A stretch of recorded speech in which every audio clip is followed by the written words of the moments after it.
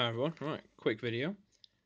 This is an Adafruit Circuit Playground Express powered test your nerve game, the little wire game we see at fun fairs. So it's just a regular cardboard box with some wire, masking tape to create some sections where we can actually rest, and another bit of wire connected to croc clips, and inside the box we've got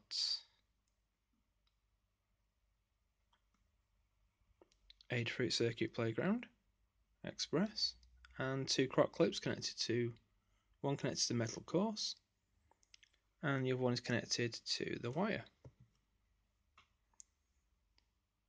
So if I move the wire through the course, the objective of the game is not to touch the wire and I'm going to fail because I'm right-handed and doing this left-handed.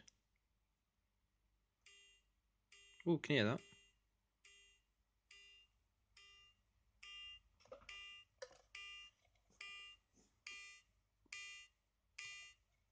So because I was touching the wire, it set off the alarm. Good bit of fun.